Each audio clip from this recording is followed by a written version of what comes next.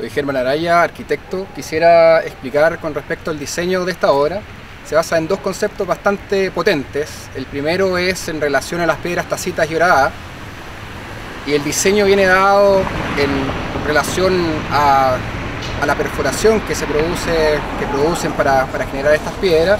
Ustedes lo pueden ver en el diseño, en la circunferencia y en la vocación al círculo y por otro lado está el arraigo que tiene el proyecto con la ciudad del Retiro, en donde las líneas confluyen agarrando las tres directrices que conforman este espacio público de esta plaza habitable y que nosotros queríamos rescatar para el uso de, de, los, de la gente del Retiro.